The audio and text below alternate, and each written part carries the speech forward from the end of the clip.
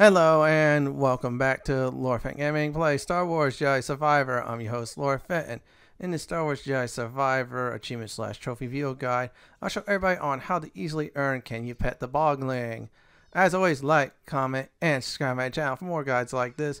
Do not forget to hit the notification bell so you'll be updated and more. The very best and quickest way, by the way, to pull this off is in Chapter 2. Yeah, that's right. So you have to pet the little bogling in order to earn the achievement slash trophy.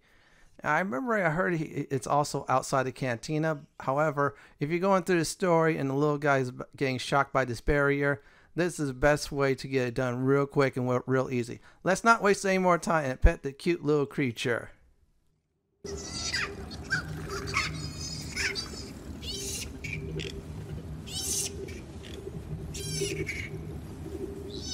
You're okay, bud.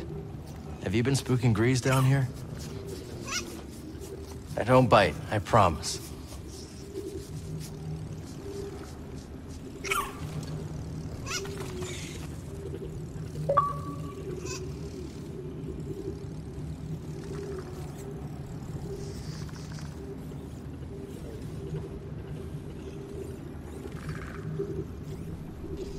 Upon petting the bogling, you will earn the achievement slash trophy. Can you pet the bogling? Yes, you can for an easy achievement to uh, do.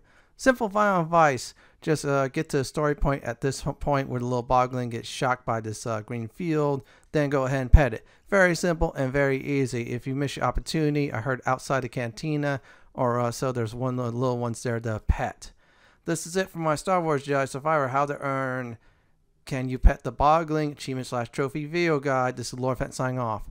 Thanks for watching and have a great day or night and do please stay safe.